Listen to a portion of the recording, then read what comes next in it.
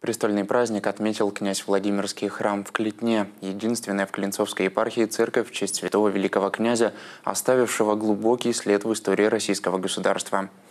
О церкви в честь крестителя и просветителя Руси наш следующий сюжет – до 1981 года в поселке Клетня был деревянный Владимирский храм, возведенный в начале XIX века. Старая церковь сгорела, и нынешняя была построена уже на другом месте. Возведение Дома Божия было начато в 1982 году. Жители поселка отмечают, что с появлением храма в селе постепенно менялась атмосфера. Храм стал духовным центром, люди спешат сюда для укрепления своей веры в надежде на помощь Божию.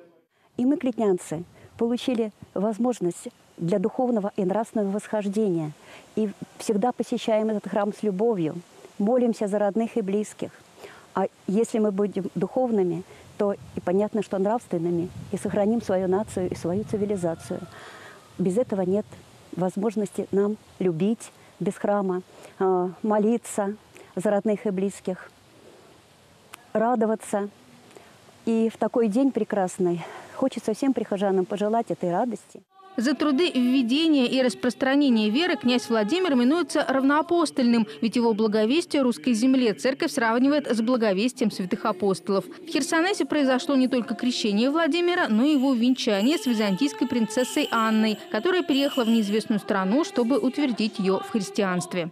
И вот если наш народ сохранит православную веру, сохранится и сам народ. А если будет равнодушным и будет пренебрегать верой православной, тогда и не сохранится наш народ. Вот почему важно так хранить веру, которую принес на нашу землю святый равноапостольный великий князь Владимир. Мы благодарны ему как своему отцу и просветителю, и одновременно молимся к нему с просьбой чтобы Он укрепил всех наш в вере, сохранил наш народ и всю нашу страну.